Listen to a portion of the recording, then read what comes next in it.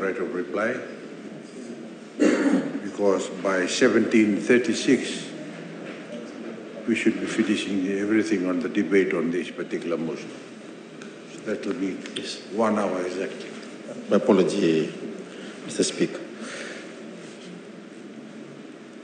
The contributions from uh, Honorable Naupoto was relevant, but uh, here we're hearing someone who is not an expert in drafting.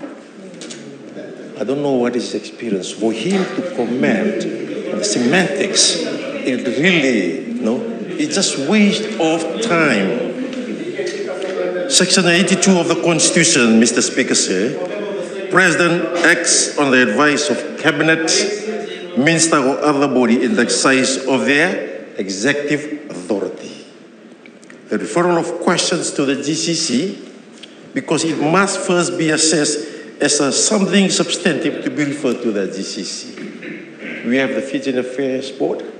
It refers to Cabinet, then if you see something that is relevant, that will go to the GCC. This is only interim measure explained by the Minister of Home Affairs. The review, the, the future and shape of the GCC, it will be in a trust form and it will take two years.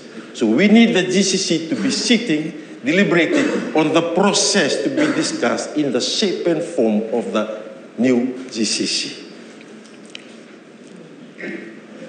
The, proce- the, pro- pro- the proposed bill processes is prior to submission to Cabinet. It does not change the essence of the intention to ensure that the GCC comments are considered at the highest level of lawmaking during parliamentary process.